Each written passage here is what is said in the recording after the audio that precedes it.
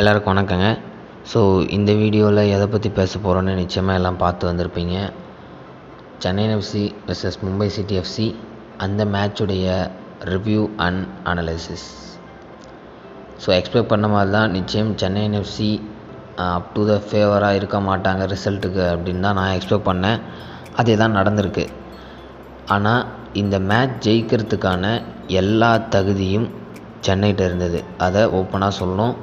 But எங்கள் சென்னையினுக்கும் மும்பைக்கும் இருந்த டிஃப்ரென்ஸுன்னு பார்த்தீங்கன்னா பிட்வீன் கன்வர்ஷன் ரேட் நீங்கள் இந்த மேட்சோடைய ஸ்டாட்ஸ் எடுத்து பார்த்தீங்கன்னா மும்பை எட்டு ஷாட் எடுத்திருக்காங்க. அதில் மூணு டார்கெட் அடிச்சிருக்காங்க. ஸோ அவங்களுடைய கன்வர்ஷனை பார்த்துக்கோங்க அதே சென்னைக்கிட்ட வந்தீங்கன்னா பதினேழு ஷாட் எடுத்திருக்காங்க. அதில் வெறும் மூணு ஷாட் டார்கெட் பத்து ஷாட் ஆஃப் டார்கெட் எதனால் அப்படின்னு எனக்கு சுத்தமாக புரியலை.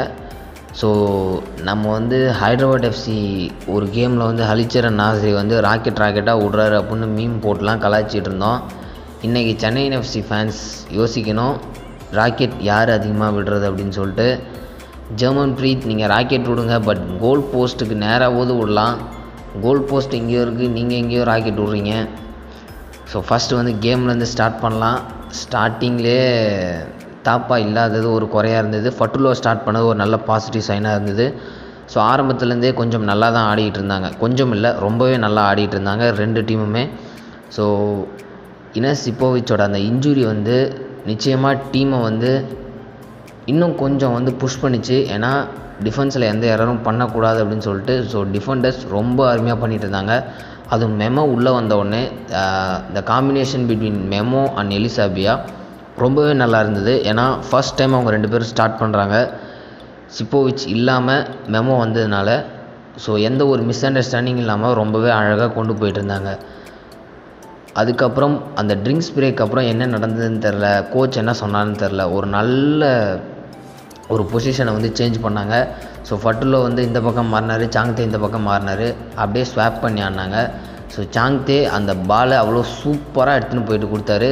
ஸோ ஜேக்கப் சில்வஸ்டர் ஒரு அருமையான கோல் அவருக்கு அது கண்டிப்பாக தேவை. ஸோ அவர் மட்டும் இந்த டீமை காப்பாற்ற முடியாது. கிருவல்லாரோ எப்படியாவது மீண்டு வரணும். கிருவல்லாரோ நார்மல் கிருவல்லாரோ கிடையாது. போன வருஷம் இந்த கிருவல்லாரோ கிடையாது. அவர் வர ட்ரை பண்ணுறாரு பட் அவரால் முடியலை. ஒன்று இப்போது ஜேக்கப் சில்வஸ்டரை நம்ம அடுத்த மேட்ச் நல்லா நம்பலாம். ஏன்னா அவருக்கு கோல் அடிச்சிருக்காரு கான்ஃபிடென்ஸ் இருக்குது compared to first three games ஒரு ஒரு கேம்லேயும் அவர்கிட்ட இம்ப்ரூவ்மெண்ட்டுங்கிறது ரொம்பவே நல்லா தெரியுது. ஸோ ஜேக்கப் சில்வஸ்டர் நிச்சயமாக ஞாயிற்றுக்கிழமை நார்த் ஈஸ்ட் கூட அவரால் நம்ம கேம் ஜெயிப்போம் அப்படிங்கிறது கிளியராக சொல்லலாம். ஸோ அடுத்து வந்து ஒரு தேவையில்லாத ஒரு மிஸ்டேக் விஷால் கெய்த். போன மேட்ச் வந்து கெய்த்து கெய்த் கெய்த்து அப்படின்னு நம்ம கத்திக்கிட்டு இருந்தோம். இந்த மேட்ச் கெய்த்து விட்டார் கவுத்து அப்படின்னு தான் கத்தணும். ஸோ ஒரு தேவையில்லாத ஒரு கோல் கீப்பர் மிஸ்டேக் தான் ஹெர்னன் சாண்டனா கோல் அடிச்சுட்டு போயிட்டே இருந்தார்.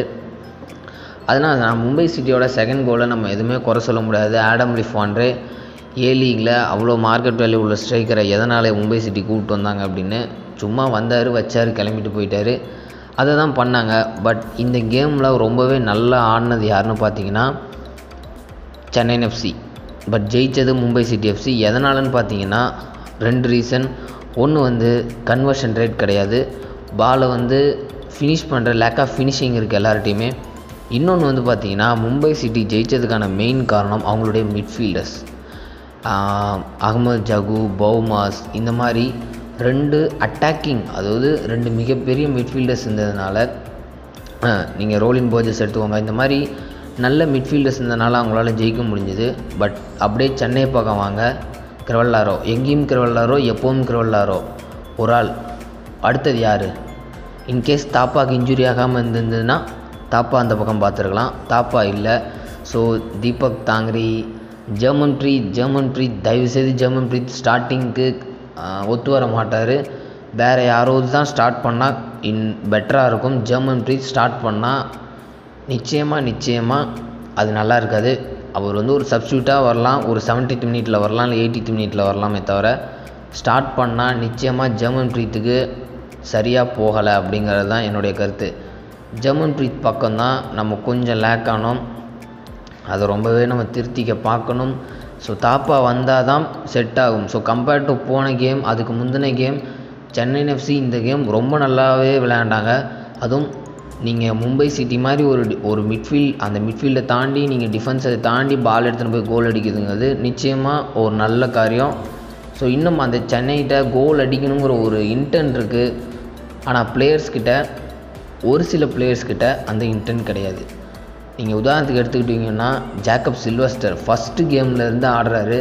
So second game full match ஆனார். தேர்ட் கேம் ஃபுல் மேட்ச் ஆடுறாரு இன்றைக்கும் ஃபுல் மேட்ச் ஆடுறாரு. ஸோ அவரால் முடியுது. டீமுக்காக ஏதாவது பண்ணணும். நம்மளை நம்பி இருக்காங்க அப்படின்ட்டு அந்த அவர் அவர்கிட்ட அந்த மோட்டிவேட் அந்த பண்ணுறதுனால அவர் நல்லா ஆடுறாரு. ஆனால் அவருக்கு என்ன சொல்கிறது அவருக்கு சப்போர்ட் யாருமே கொடுக்குற மாதிரி தெரில so compared to last game Crivellaro இந்த மேட்ச் நல்லாவே ஆனார் ஏகப்பட்ட ஷாட்ஸ் எடுத்தார். அவரால் முடிஞ்ச வரைக்கும் ஷாட் எடுத்தார். பட் எல்லாமே பிளாக் ஆகிடுது சாங்தேவும் ஷாட் எடுத்தார் சேவ் பண்ணாங்க. ஃபட்டுலோ ஸோ ஃபஸ்ட் மேட்ச் அவர் ஸ்டார்ட் பண்ணுறதுனால கொஞ்சம் இதாகிறவரோ இன்னும் செட் ஆகலையோ அப்படின்னு தோணுது. ஸோ நிச்சயமாக ஜாக்கப் சில்வஸ்டர் மாதிரி நம்ம ஃபட்டுலோக்கும் அந்த ஸ்டார்டிங் லைனில் இடம் கொடுத்து கொஞ்சம் பிளேயிங் டைம் கொடுத்து அவரும் பெட்டராக பண்ணுவாரோ அப்படின்னு தோணுது. ஸோ ஃபட்டுல்லோ வந்து நல்ல ஆடுறாரு. Compared to Isma. அவ்வளோதான் இஸ்மா பற்றி பேச தேவையில்ல. ஸோ மெமோ சூப்பராக ஆனார் எலிசபியா சூப்பராக ஆனார் இப்போது இங்கே என்ன பிரச்சனைன்னு பார்த்தீங்கன்னா ரெஃப்ரிஸ் எத்தனை பெனல்ட்டி நமக்கு வர வேண்டிய பெனல்ட்டி ஏன் கொடுக்கல? ஹேண்ட்பால் இல்லை ஃபவுல் இந்த மாதிரி எதுவுமே கொடுக்கல. அகமது ஜகு தட்டி விட்டுறாரு. இதெல்லாம் ஏன் ரெஃப்ரி இப்படி பண்ண மாட்டுறாங்க அப்படின்னு சுத்தமாகவே புரியல. ஸோ அதெல்லாம் கொடுத்துருந்தாலே இந்த கேமில் சென்னை எஃப்சி கோல் மழையில் பொழிஞ்சிருக்கலாம் நனைஞ்சிருக்கலாம் ஃபேன்ஸ் அப்படின்னு தான் சொல்லணும். So another disappointing night for Chennai FC fans அதுவும் ரெஃப்ரிஸ்னால் ஸோ போன கேமும் இப்படி தான் நடந்தது. இந்த கேமும் இப்படி தான் நடக்குது. அது சென்னை எஃப்சிக்கு மட்டும் ஏன் தான் எப்படின்னு தெரில வருஷா வருஷா வருஷம் ரெஃப்ரிஸ்னாலேயே சென்னை எஃப்சிக்கு இந்த மாதிரி ஒரு நாலஞ்சு கேம் வந்துக்கிட்டே இருக்குது. ரெஃப்ரீஸை தயவுசெய்து மாற்றுங்க இல்லைனா விஆர்ஓது கொண்டு வாங்க. எந்த வருஷம் வரும்னு தெரில அது வரைக்கும் இதே நிலமை தான் ஆகுமா அப்படின்னு தெரில ஸோ என்னை பொறுத்த வரைக்கும் இதாங்க இந்த மேட்ச்சில் ஸோ நான் எல்லோரையும் பேசியிருப்பேன்னு நினைக்கிறேன். விஷால் கெய்த் போன மேட்ச் நல்லா ஆனார் இந்த மேட்ச் ஆடல. ஸோ டிஃபென்ஸ் நல்லா போய் பண்ணாங்க. ஸோ என்ன சிப்போவிச் ஆல்ரெடி ஓகே அப்படிங்கிற மாதிரி தான் சொல்கிறாங்க ஸோ அவருக்கு எந்த இன்ஜுரியும் ஆகிடக்கூடாது. நிச்சயமாக இப்போது டீம் இருக்க ப்ரெஷரை பார்த்தா தாப்பா நார்த் ஈஸ்ட் கேமே ஸ்டார்ட் பண்ணுவாரோன்னு தோணுது. ஜமுன் ப்ரீத் பெஞ்சில் வைக்கிறதுக்கு பதிலாக தூக்கி வெளியவே வச்சிடலாமோ அப்படின்னு தோணுது. ஏன்னா அவர் அந்த மாதிரி தான் ஆடுறாரு.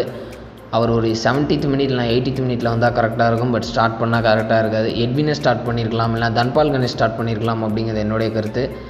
தீபக் தாங்கிரி ஓகே நல்லாவே ஆடிட்டு இருக்காரு பட் ஃபட்டுல்லோ இன்னும் கொஞ்சம் ஜேக்கப் சில்வஸ்டர் மாதிரி கொஞ்சம் பிளேயிங் டைம் கொடுத்தா நல்லா ஆடுவார் அப்படின்னு தான் எனக்கு தோணுது.